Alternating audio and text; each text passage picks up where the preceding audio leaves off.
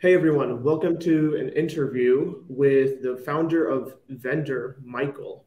Uh, we're going to be talking about why he came up with this project, how what his journey has been, and why it's awesome, and also the integration with Vue Storefront. That's going to be, I think it is live by now. Uh, to jo- joining us, we have Jakub, core VSF team member. Uh, he's also the core maintainer of the integration between Vue Storefront and Vendure. And obviously, we have the founder of Vendure themselves, Michael. And I'll be just asking some questions along the way. I'm from Hotwise Commerce. Quick note about me we are an omni channel order management system for Shopify. I'm also a core team member of Storefront UI. Uh, and why don't we just get started right away? Jakub, why don't you first just introduce quickly what is Vue Storefront so people who might be out of context just can get familiar? Sure. So Vue Storefront is a head is a platform, front-end platform for headless e-commerce. We used to call it a bodiless front-end so that it can connect to any front-end on to any backend that you like. So in here, for example, in our uh, portfolio page, you can see that Vue Storefront can connect to all different e-commerce platforms, headless CMS payments, any third-party service. And one integration, one e-commerce platform that we can integrate now Vue Storefront is the Vendure that Michael is the founder of and will be uh, talking about today. So I'm passing voice again to the studio. My Michael, Aditya, talk a bit more about Vendure itself.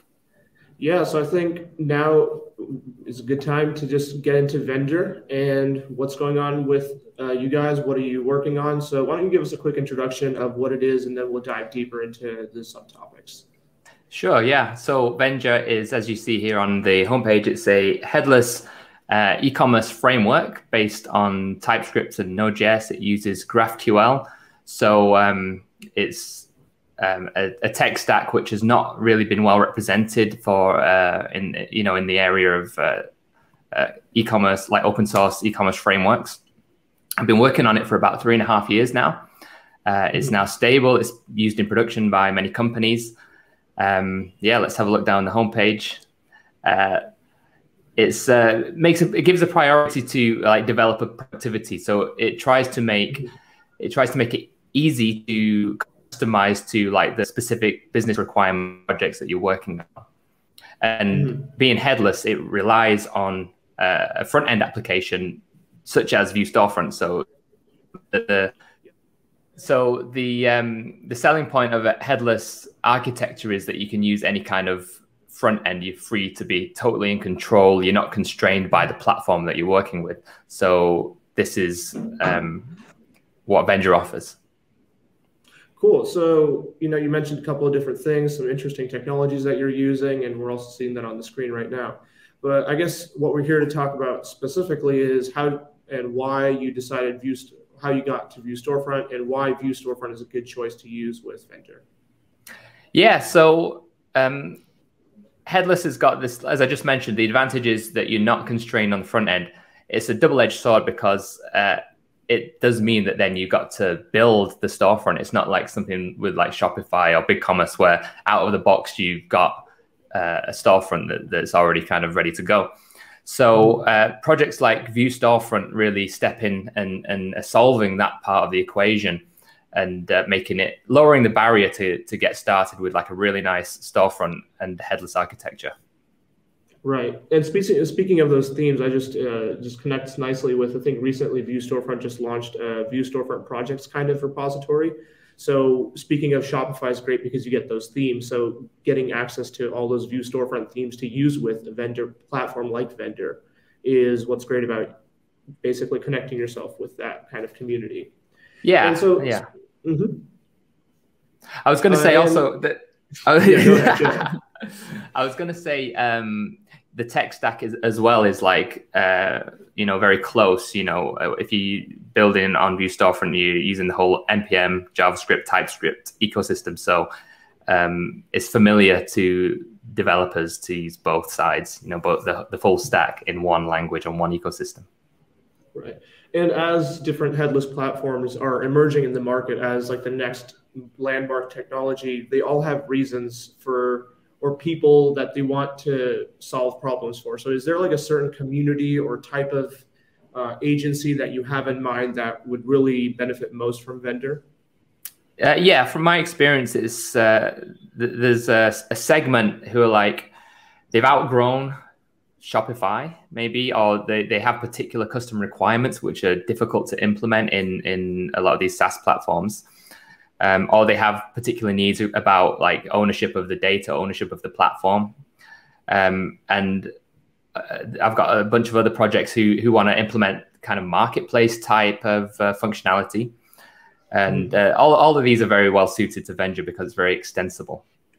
So you mentioned extensible. Uh, so that's really interesting. So do you have like scenarios that you found yourself limited by other platforms that you found that you were able to solve by coming up with Vendure? Like what kind of extensions were you able to more easily come up with? Yeah. So one nice thing about having a self-hosted solution like Vendure is that um, you're not you're not really constrained by uh, the kind of API, the app type of API um, that give you maybe webhook access and, and certain bits of access to to the kind of the whole commerce flow. So when you write extensions in Vendure, you're really writing um, code which which will run on the server in the same process with full access to the database, full access to like all the events going on in the system. So you can write very very deep integrations, uh, and, and and there's very you know there's very little that you you can't do. Um, and I've, just, I've tried to design it in a way where it's kind of uh, gives you the hooks to be able to implement your own integrations when you need it. Mm-hmm. And do you have like any other things that you feel like people who've been using platforms like Magento, who have been like the previous open source ecom platform kings, that like as those have shown their age, what is some of the stuff that people can look forward to in using a platform other than like as you mentioned extensibility? Yeah, I, I guess uh, they can use like more easily use modern developer workflows. You know, mm-hmm. um, modern uh, front end technologies. Uh, the dev uh, experience and the iteration cycle is very fast. You know, nice. Uh, like making changes and like you know rerunning Developer things. experience is very important too. Yeah, like specifically yeah. like a lot of people don't seem to really think about that because this happens from a business first perspective. Mm-hmm. But being someone that comes from a developer first and focuses on that experience is something that I feel like is going to be really popular with the enthusiast community, especially that's going to then expand out to all of their customers, right? Yeah, sure. I mean, you know, I, I do keep my eye on like like the the Magento subreddit and different e-commerce mm-hmm. forums where developers go and bitch about things, and uh, it does it, you know the, the the developer experience is important and it makes a big difference on whether people are willing to use it or, or how much you have to pay them to use it maybe is right. more more of a business uh, um, kind of consideration and and also like the time to market because if it takes like you know five minutes every time you make a change to refresh it in the browser then you know that adds up over time mm-hmm. So have you ever what do you have like as maybe you've like jotted down the specific Reddit posts of like this is the stuff that I want to change. So like what, what are those kind of developer experiences? I, I, I actually like when I started the project I uh, kept a little um, bookmark folder called lurking where I lurk about on these forums and just save all of these kind of rants about the pain points the developers have had with other platforms um, you know, it's not something that I've, I felt like I should share because maybe it's not it's not fair, but I uh, there is a lot of material back, backing up my decisions. yeah, I don't know. Like a lot of companies like to have frequently asked questions on their website. Maybe you can have like frequently bitched about problems on the JetK and in terms of extendability and customizability, uh, which is interesting part between uh, Vue Storefront and Vendure, that they share um, similar patterns in terms of customizability. Because in Vendure, uh, you have these custom fields that allow you to uh, customize what you are fetching from the database. And it's quite similar on the Vue Storefront part because you mm-hmm. can use uh, custom queries instead of the default queries that are uh, provided by Vue Storefront to uh, fetch different data. So both projects share um, quite few similarities. and also in the architecture, I would say, because when you look at what what is the technology stack, so when you look at Vendure, you will see that Vendure is built on Nest.js, which is like a framework for Node.js, mm-hmm. and it adds uh, um, architecture, plugins, features. So it is like um, a framework that allows you to develop projects more efficiently than yeah. by using, for example, Node.js.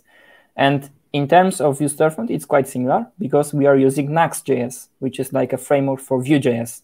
So you can also use the stuff from Vue.js in Nuxt, but Nuxt gives you a bit of architecture, gives you support for, uh, for server-side rendering. So we also have those additions that uh, make your developer experience better. So both this project and both projects are open source as well. So mm-hmm. the both projects share very very many similarities, I would say. Yeah. So uh, because these projects share quite few similarities, we thought about uh, integrating them into one so that you can choose a Vendure as a backend of your e-commerce and Vue Storefront as your frontend. So we created this integration that you can visit in our docs. So docs Vue Storefront.io slash Vendure, uh, where you have the instructions on how you can build your store with Vendure. So we have getting started, how to install it, how to configure Vendure to work with uh, Vue Storefront. And we have also information about composables, theme, also in integration. This is like a recent thing. Uh, we had a talk with uh, the guys from Storyblok about the integration between Vue Storefront Vendure and Storyblok. So it, we are working uh, on it. It's it's like in progress. So uh, we, we will have the integration with CMS ready as well in the upcoming uh, releases. Nice.